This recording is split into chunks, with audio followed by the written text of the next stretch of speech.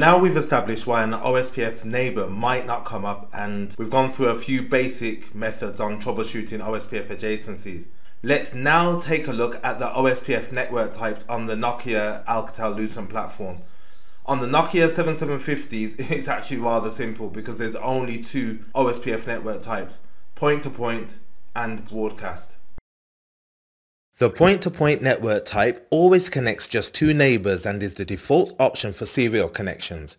Because of this, there is no need for a DR-BDR election and all OSPF packets are sent to the all SPF routers multicast address. This is 224.0.0.5. But because this is a point-to-point -point network, when the packet is sent out of the router interface, it has nowhere to go except the router at the other end.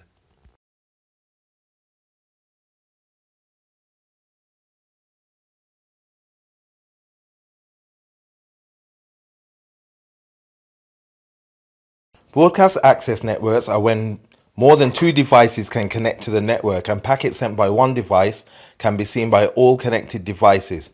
OSPF actually uses multicast rather than broadcast for sending messages, 224.0.0.5 to send information to all OSPF routers and 224.0.0.6 to send information to the designated router and backup designated router.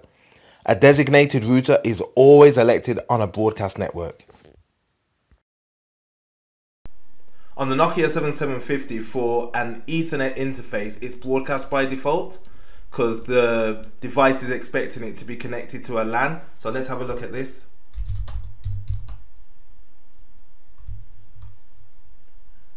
Show router OSPF interface detail. And we can see that the network type is broadcast. Now, if we were going to change this, what we'd have to do, we'd have to do this under the OSPF context.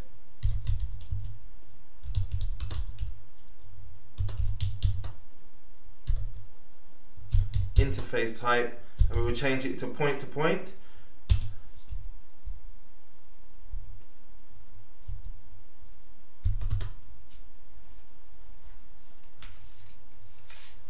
Can now see that the interface type has changed to point to point. And on point to point links there is no designated router. But we've actually probably run into a bit of a problem here because now if I run onto if I jump onto R2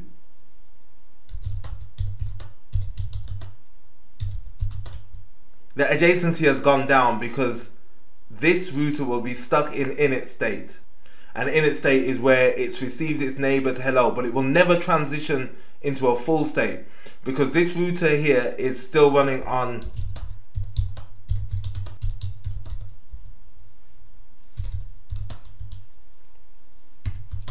broadcast network type and its neighbor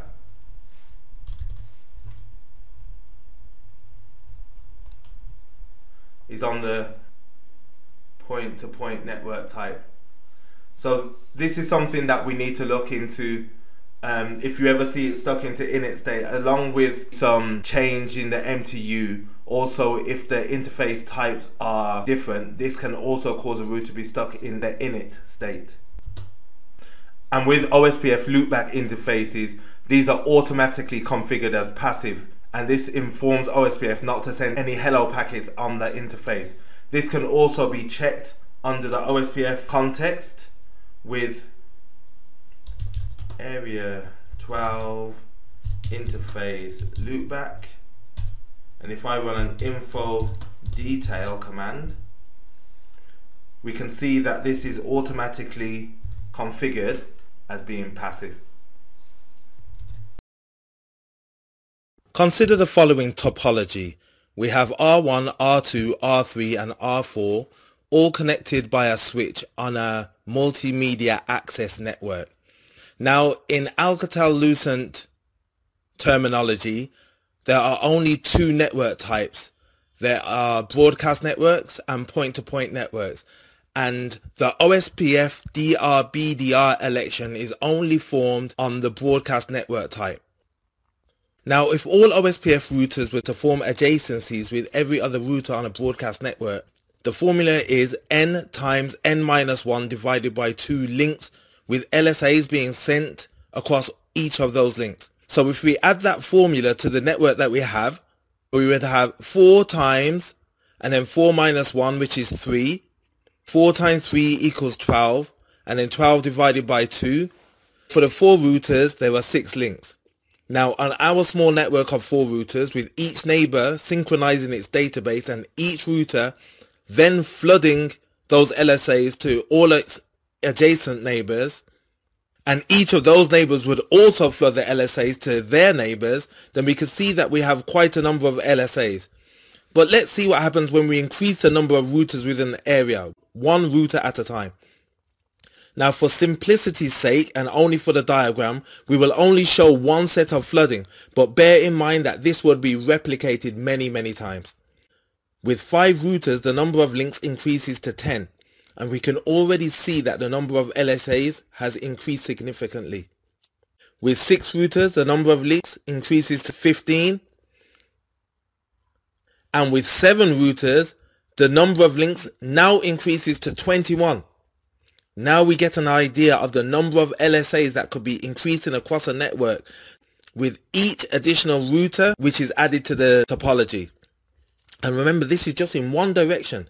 In a real network situation, each router would then propagate those same hellos onto each of their neighbors, potentially resulting in a massive amount of LSAs sent for each link change. So what do we do about that?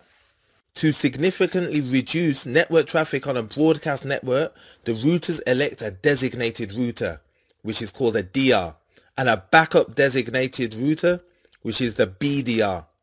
All other routers are called other designated routers.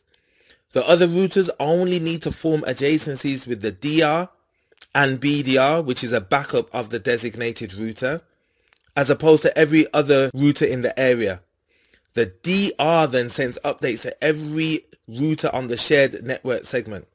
If the DR goes down or fails, then the BDR is ready to take over and another alternative router will take the place of the BDR, ready to take the role of the DR in case it fails. So imagine the scenario.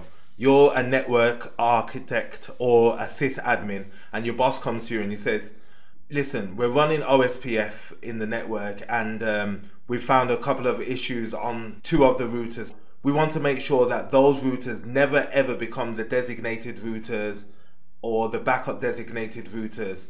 Let's say, for example, we want R1 to be the designated router always, but if R1 has an issue, R3 should be the backup designated router. Now, R2 and R4 should never become the either the designated router or the backup designated router. How are we going to do that? Let's have a quick look at the topology we're going to be working with. These are the four routers. Now R1 will be the designated router and R3 will be the backup designated router and R2 and R4 won't even partake. So I'll span up two extra devices. I have one, two, three, and four. Um, I've done the basic interface configuration, so R1 should be able to ping the other devices. which it can. Dot two, dot three, and dot four. And let's ping ourselves just to make sure. Good. In this situation, um, there's no OSPF actually configured at the moment on any of them. I've just done the base configuration, so I'll take you through the entire OSPF configuration. So the first thing I'm going to do is configure router OSPF area 124 interface. Now this is R1, so on R1 I'm going to set it to the maximum priority which is 255. That's all I should have to do. And do the same on the others.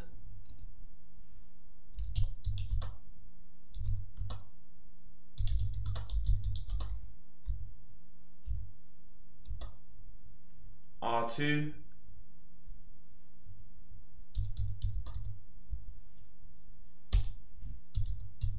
priority is zero quickly. Show router OSPF interface. It's an other designated router which is good which is what we want to see. I'm looking over here for that.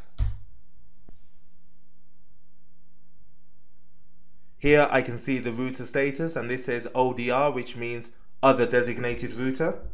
Let's continue to R3.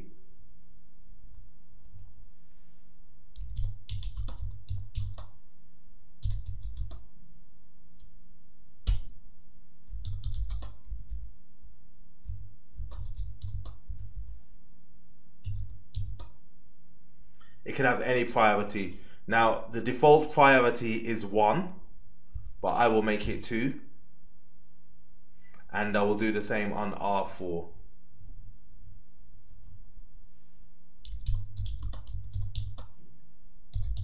Now on R4, I'm going to take a bit of a pause here.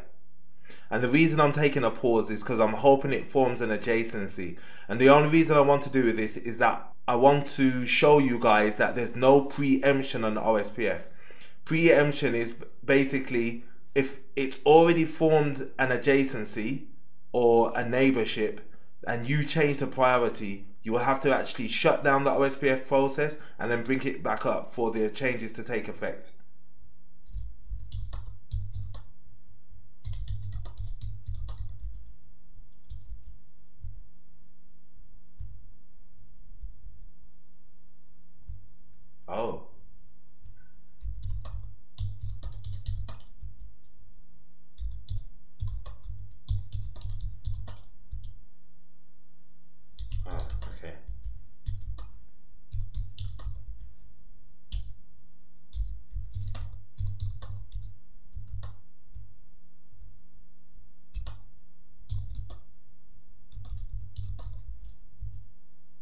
Okay, it is an other designated router because already the backup designated router has taken effect. Now the boss's stipulation was that even if one of the other routers, the designated router or the backup designated goes down, R2 or R4 shouldn't actually take over. Let me just go on to R3 and shut down the OSPF process. And now when I jump back over to R4, you can see that R4 has become the backup designated router. This is because we haven't set the priority to zero. By setting the priority to zero in OSPF, it means that the router is not even eligible to be either be the designated router or backup designated router. So let me do that now.